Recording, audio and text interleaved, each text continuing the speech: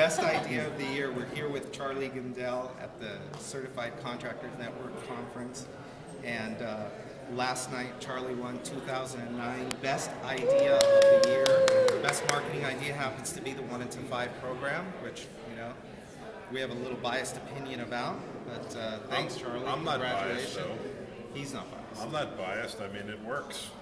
I've been doing it for eight and a half months now. We started June 1st of last year, and uh, I actually thought it was such a great idea that I shared it at the San Jose conference for CCN back in September, and shared the results, which I had about three months worth of results in, and then I shared uh, this past Thursday evening at the Marketing Mastermind here the updated pieces and the updated results, which I think are even more impressive now with six or seven months of actual results under our belt. And uh, a lot of other CC mem- CCN members are joining into it and signed up, and uh, they're starting to you know, get good results too. And uh, it's a no-brainer. I mean, I spent uh, about seventeen thousand dollars and got six hundred thousand dollars in additional business. Wow. I mean, how hard is that to figure out? So, so even a guy like me can do that math. The ultimate money. Let me just get a close up there.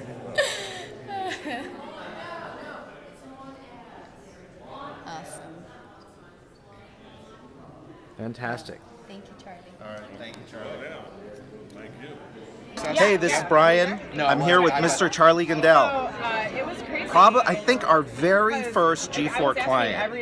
And he's still with us How do you too. And we were just talking about just arrived from cookies and it was, like, emails sunny, and it was what else were pouring we talking rain, about? And then it was sunny, and then it was Just the customer rain, experience like, in general and how important that is like, today. You never knew, and all of a You know that uh, there's more and more focus on it now with all the online reviews and how much credence prospective customers put in those online reviews and even customers that buy from you sometimes get a little buyer's remorse and they go online looking for a reason to justify you know why they should cancel so the customer experience is more important than it ever was before and what people think after they're done doing business with your company and the lasting impressions that they have. And uh, we just feel like the G4 program just really cements that whole process you know in other words it leaves the customer we leave them with a good taste in their mouth. They're happy. With Literally. The, with yeah, with, yeah. We leave a good taste in their mouth with the, the quality of the product, the installation, the follow up, the follow through, all that, and then all the G4 stuff. The cookies arrive, and then the thank you cards, and you know we're using that $500 gift card. In fact, this is I forgot to tell you this. About 20 minutes ago, I had a phone call from a customer. We just finished her job Yeah. in San Clemente. We were and about we finished her job about two weeks ago, and she got the thank you package. She got the five hundred dollar gift card, and she said, "We want to do the rest of the house now. We're going to use that card." Nice. Yeah. Nice. So, but but just the ongoing uh, follow up, follow through the emails. We get comments all the time.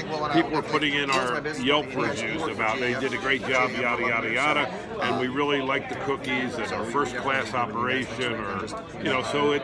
You know you know, you never know what really strikes a chord with the customer, but you can never do too many good things. but it's also trying to Great advice from a very smart man. Thank you, Charlie.